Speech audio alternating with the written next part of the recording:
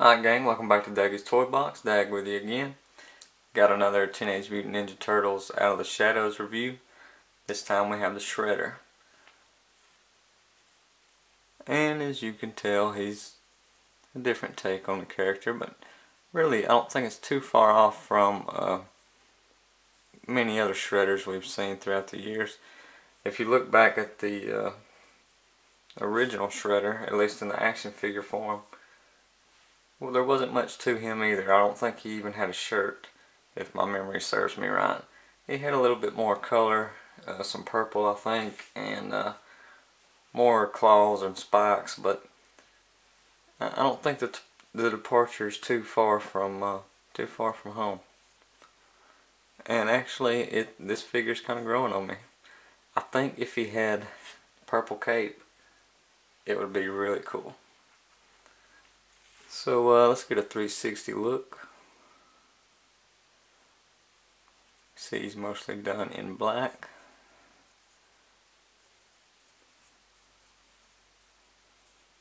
Not too bad. So uh, we'll look at articulation. Head can rotate, can also move down and back a little bit arms are on a ball joint. Pull his claws off there. He has an elbow joint and the wrist rotates. Nothing in the waist. Legs can move back and forth, can rotate. Rotate at the knee.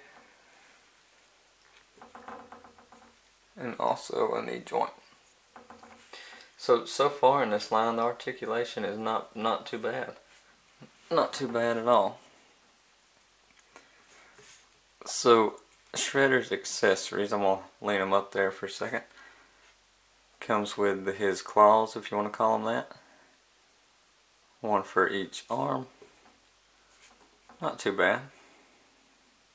He also comes with this blaster, which I think is a little odd.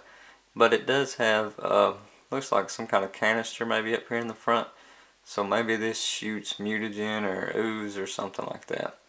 Possibly something that's in the movie, I'm not sure. So counting that, he comes with three accessories. And let me go ahead and snap these claws back on. They just snap onto his arms. Okay, so there's Shredder with all of his accessories. Not too bad. I, I, like I said, it's kind of growing on me. I think that cape, if he would have had the cape, it would have added a whole lot to this figure. And to this design. So here's a size comparison with Rocksteady. Not too bad. Pretty good, I think.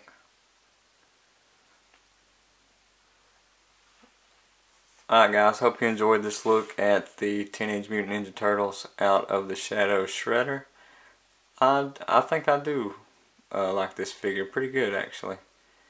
Not the best shredder ever, but he's pretty cool. That's just my opinion, but I can recommend picking this one up if you're into Shredder or heavily into the Ninja Turtle lines. Alright guys, thanks for watching. Please remember to comment, like, and subscribe, and I'll catch you next time.